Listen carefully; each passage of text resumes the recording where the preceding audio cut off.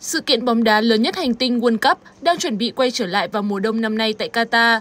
Nước chủ nhà đang gấp rút hoàn thành những công đoạn cuối cùng để hoàn thiện hệ thống cơ sở vật chất phục vụ cho giải đấu này, trong đó có hệ thống 8 sân vận động với kiến trúc độc đáo và công nghệ hiện đại. Sân vận động Al Thumama là một trong số đó. Sân Al Thumama được lấy ý tưởng từ hình ảnh cánh buồm ra khơi, thu hoạch ngọc trai và thủy sản của người dân Ả Rập. Đây sẽ là nơi diễn ra 8 trận đấu trong khuôn khổ World Cup 2022, bao gồm 6 trận đấu vòng bảng, một trận vòng 16 và một trận tứ kết. Sân vận động nằm cách trung tâm Doha 12 km về phía nam, có sức chứa 40.000 người. Antumama cũng là một trong những sân vận động được thiết kế theo hướng thân thiện với môi trường. Nước sạch sẽ được tiết kiệm 40% và được tái sử dụng để tưới cây cho công viên rộng 50.000 m2 ngay gần đó.